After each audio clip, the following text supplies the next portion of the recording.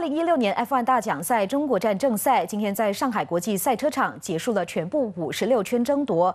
马赛蒂车队的罗斯伯格以一小时三十八分五十三秒八九一获得本站的冠军，实现本赛季开场的三连冠，这也是他的第十七个 F1 分站赛冠军。法拉利车队的维特尔落后三十七秒七七六获得亚军，第八十一次进入 F1 大奖赛前三名。